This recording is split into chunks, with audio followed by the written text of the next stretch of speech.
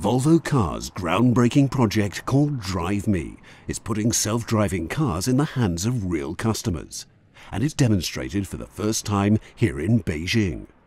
The media and important Chinese decision makers were together with the Swedish Prime Minister Stefan Löfven as he attended the event.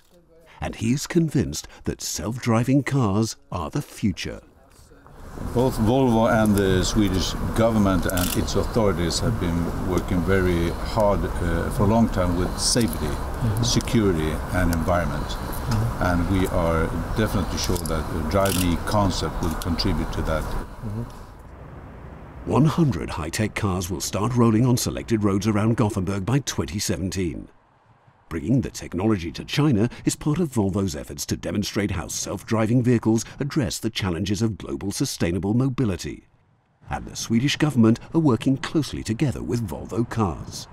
The government, through its authorities, are cooperating with Volvo as well in Sweden, in Gothenburg, where the project Drive Me has been uh, going on for, for some years now uh, with the with the short-term aim to, to reach 100 cars, uh, driving cars in Gothenburg uh, 2017.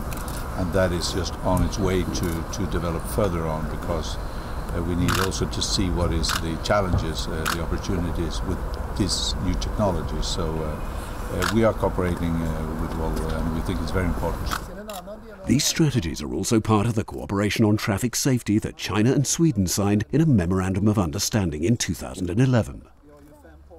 This long relations between our two countries suits very well with this Volvo now being uh, owned by Chinese. So uh, we have uh, every opportunity mm. to, to develop both for, for Volvo and its partners in China, but, but our two countries as well.